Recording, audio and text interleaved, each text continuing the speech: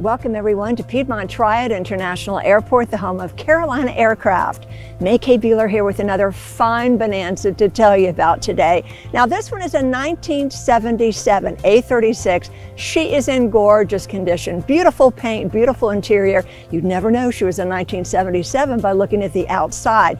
Best part about this plane, low time on the airframe and the engine. So let's take a look.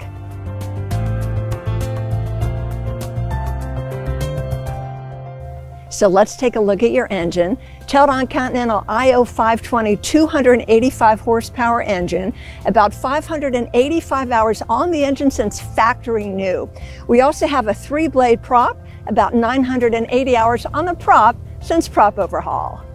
So folks, I cannot brag enough or emphasize enough the low time on this aircraft. Only 3,930 hours on the airframe since new.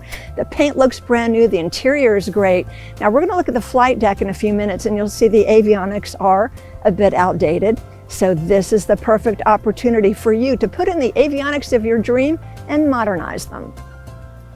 The exterior on this Bonanza is gorgeous. Matterhorn white overall with blue and gold metallic stripes and burgundy red swoosh. Now remember, only 3,930 hours total time on the airframe since new.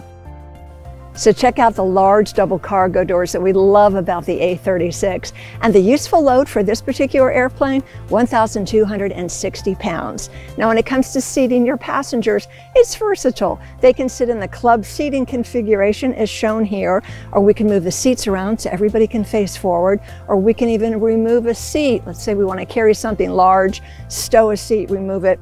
Don't need any tools. All I need to do is pick up on a bar, remove a pin, and we're in business.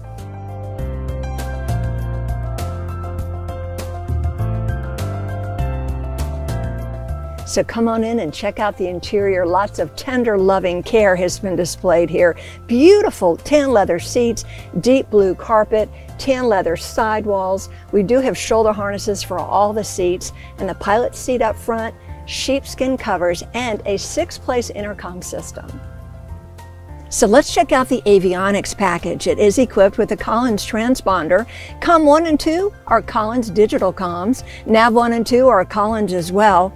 Navigate with ease with a Garmin GPS map 296 on board. The ADSB is a Garmin ADSB out and you have an autopilot. It's a Century 3 autopilot with ILS coupling and altitude hold. Other features you will appreciate inertial reel shoulder harnesses on all six seats, dual flight controls, co-pilot brakes, windows and windshield replaced when the interior was redone, all in excellent condition, alternate static air system, and dual glide slope indicators. So this beautiful 1977 A36 is looking for a new home. You can see how gorgeous her paint is. And the windows and the windshield, they were redone when the interior was redone, and that's in perfect condition too.